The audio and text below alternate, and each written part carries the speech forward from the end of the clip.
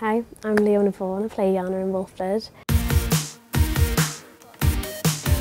If you've got any kind of dream, whether it's big or small, even if it is to do with acting or it isn't, if you just want to come into the business, then you've got to go for it. If that's what you want to do, then follow your dreams 100% and don't give up. Never, ever, ever give up. Always have fun and be happy. Just stay positive. If you've got any local theatre groups that you can go to to try and have like that extra experience, even if it's just working behind the scenes to start off with, the more experience that you can get, the, the better it'll be then when you, when you get your first acting job.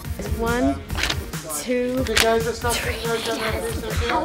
I didn't even want to be an actor. I didn't even know how you could even do that. I wanted to be a doctor, so it just it just shows that you that you don't have to you don't have to train. There's no rules, but so long as it feels right and so long as you're doing it for yourself, don't do it for anybody else. Do it for yourself.